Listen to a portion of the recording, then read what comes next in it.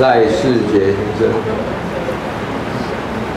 为我们讲关于设计的议题。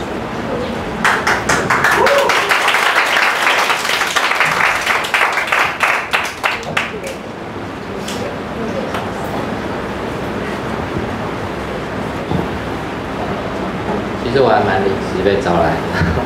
所以有一点还没准备好我自己要讲什么。那我大概就从学生的时候开始讲他，对啊，因为其实很多人都觉得做设计好像蛮有趣、蛮有质感，但是其实没有。做设计的其实在台湾来说，我觉得还算蛮可怜的。就从学生的时候开始，可能从学生的时候开始，老师。呃，因为我是念复兴美工毕业的，我可能不像大家一样是大学毕业的，对。然后，所以那时候我大概我可以讲，大概就是是我在复兴的那段时间的一些事情。然后那个时候的老师其实不像，我现在三十三岁啊，不像可能不像看起来还蛮年轻的这样。自己夸。然后那时候的老师他其实还蛮严格的，就是可能我们的。作品没有做好，或者是怎么样，可能一个白规笔的出错，他就会把你整个整张撕掉。然后所以这样子到后来就造就造就了就是那个，嗯，那个时候毕业的复兴的学生其实还算蛮厉害的，对。然后我在学生的时候我是念夜校，然后我白天的时候是在奥美广告公司做设计助理。然后，呃，到后来的时候，就刚好因为在澳门广告公司做设计助理的关系，所以我在那段时间，我学会了一些关于绘图软体。不然那个时代其实大部分都用手工做，包含标色那些。不好意思，有点紧张，因为从退伍之后，退伍的时候当班长，可是退伍大概十年了，没有在在这么多人面前讲过话，不好意思。然后。对，然后再到后来的时候，我就去做了游戏包装，一直到游戏包装做完之后做汽车杂志，最后做 Men's Uno 就是一本男生的时尚杂志。然后在那边的时候，就开始能够去做到一些我自己想要做的东西。对，然后我的大概一些作品的风格就开始稍微有一些改变。对，然后那个对不起，牙膏。这个是这个是，呃，前一前一阵子突然就有一些蛮突发奇想的东西，因为那时候我跟一个一间他算是做他是做细胶的，可是因为他那因为那一个主编他以前是 L 的主编，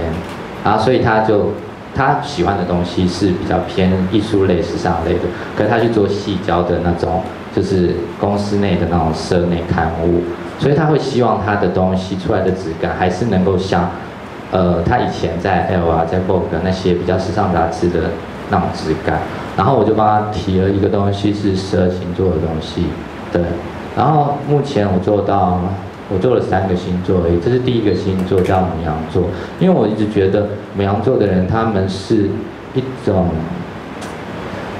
嗯，还蛮。蛮单纯，但是却还蛮有英雄主义的那一种人，然后所以我就把他设定为他是一个，他是唐吉诃德，然后他想要挑战他后面的那个风车，就跟唐吉诃德科德里面的故事其实是一样啊，只是他因为他是原本的那一家公，就是我合作的对的客户，他是。比较就是做细胶嘛，比较科技类的东西。他本来一直叫融入一些科技的元素进去，然后我有试过把他的细胶的那些，嗯，隔热的东西啊、防水的东西啊，或者是像是一些药剂之类，硬把它塞进去，可出来的东西真的是非常的恐怖，恐怖到一个，嗯，自己都不敢交出去那种感觉。后来就，后来结果我就。把它稍微改了一下，加了一点点的，一样是有一些科技的元素进去，然后把这个东西提给他，他就觉得还不错，然后，对，就开始一系列的东西。这是第一，这是第一个东西，第一章它是怎么样做，然后到第二章的时候我提给他的是金牛座的东西，对，然后我觉得金牛座，金牛座的人其实他还蛮。中规中矩的，可能感觉没什么脾气，因为其实我姐就是金牛座，她常常跟我说她没有，她是一个没有感觉的人，就是她吃东西可能不是非常好吃，或者是她去了什么地方不是非常漂亮，她回来就会跟我说还好，啊，到他有一天他跟我说这个东西好好吃，那我就一定会去吃，因为他表示那个东西真的非常好吃，对。然后对，因为曾经有一次，我记得讲一些题外话好了，不然我没有准备演讲稿就讲掉？因为我记得我那时候当兵的时候，然后当兵的时候，我们在座不知道有没有还没当兵嘛？因为当一样都是大学生嘛，对不对？对对。嗯，因为当兵的时候，他有一个地方是营站，然后阿兵哥都偷常偷溜去那边买一些东西回家，或者买回那个呃寝室吃这样子，或者是买烟啊之类的。然后我就去到我休假那个时候，我就偷溜去那个地方，就买了一包那种很小很小的那种，有点像棉花糖，可是又有点像是那个像麻吉哦，台语叫麻吉麻薯的东西。然后就那一天刚好休假，然后就顺便把它带回家，带在车上吃。然后到到了回到家里之后，我就放在桌上。结果后来我出来的时候，哎，怎么少了一大半？我就问我姐，我姐就说她吃掉。我就觉得说啊，那这个东西一定真的非常好吃，因为她是一个无感的人，她居然都说，她居然可以把它吃掉一半，那就表示这个东西很好吃。然后所以我就会觉得，嗯，金牛座的人应当是就像时钟，他中规中矩的在走他的每一每一步跟每一分钟。所以我想到的就是这样的画面，然后有时候，嗯，不知道，有时候不知道就会突然对话啊，或者是逛一些地方，就会看到一些画面。那那时候觉得我一直想着金牛座是一个什么样的人的时候，我就看到这样画面，我就把它做出来，对。然后再到下一张，这个也一样是刚刚那个西郊公司的生年刊物的封面，对。然后再到下一张是双鱼，双鱼座就有点倒着走，因为那时候大家问我说，大家问我说，为什么你照着照着星座走，应当是母羊之后金牛再来是双子嘛，对不对？然后可是为什么倒着走回去，我自己也不知道，因为那个也是突然就做一做的时候，就觉得说，哎，我看到一个很还不错的画面，那个画面的好适合双鱼座，一点也不适合双子座，然后就我就做了这个，然后老板也是问我说为什么倒着走，然后我大概就回答他。就漂亮，也没有什么特别的原因，对。然后这这是我呃每算是每三个月会合作一次的客户做的东西，然后我提给他的封面是以星座的方式去提给他的东西。那在下一张一张就是真的会做双子座，好。然后这是呃这个主题它叫做它是四季，因为在那个我嗯。我以前有看过一个作家，他叫泰戈，他写了一些东西，其实我觉得都还蛮有味道的。然后我自己做了一个作品之后，我会在作品的旁边配上一些文，属于那一个东西的情境文字。对，那这这些东西其实是泰戈写的东西，像“生如夏花之绚烂，死如秋叶之静美”，我觉得这句话其实还蛮漂亮。然后，所以它让我想到的感觉是春天。然后我就做了春天的感觉，对，然后再来下一个东西是下，再来是下一张是夏天。那夏天给我的感觉，除了就是海边，然后很多很多妹啊之类的，就很多比基尼的辣妹或者之类的那些东西。然后就是可以晒晒太阳，然后坐在海边，什么事都不想，也不用去担心等一下客户要打电话来催稿之类的东西，然后。所以就做了夏天的感觉，然后他搭上了文字，一样是泰戈尔的其中的一句诗，是周间之花落下，他那遗忘遗忘的花瓣，在黄昏中成熟为一颗记忆的经过。那这我也觉得还蛮美的，所以就做了夏天。那同样的后面它是秋天的东西，然后一样是配上泰戈尔的诗，是世界对着他的爱人，把浩瀚的面具揭下，他变小了，小如一首歌，小了一回永恒的接吻，对，最后是冬天的。我这样转太快了，不会来不及看？还是你们根本没想看？没有，有要看吗？有。有，OK，好。然后这一张是冬天。其实我最早一开始冬天的时候，我还想不到我自己要做什么。只是有一天我看到，我看到一张相片，是一个女生在哭的相片。那我就觉得这一张相片的眼泪好像冰块，我就觉得它其实它还蛮有冬天的感觉。然后刚好又看到泰戈尔这个诗，我就觉得这样子画面组合起来是比较 OK 的。其实春夏秋冬这四这四张，它比较偏就是感觉。那你要说它是有一个故事的话，可能接下来后面的东西我比较能够去叙述我当时的故事给你们听。对。然后这个是有这个是。稍微有故事的东西，这是二零零八年的时候，呃，我参加 Epson 创意导演大赛亚洲区的优选的作品，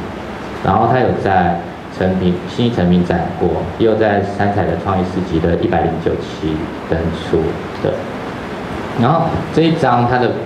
主题叫做原生，那个时候，呃，那时候其实是呃刚分手，对，然后那时候。呃，因为阳明山每年有海域季，对，然后就那个，呃，就去那时候是跟他去，就是跟我前那个女前女友去阳明山看那个海域的时候，然后我看到觉得一整片的花海，其实它真的很漂亮。然后再到后来的时候，分手的时候，那就觉得对我来讲。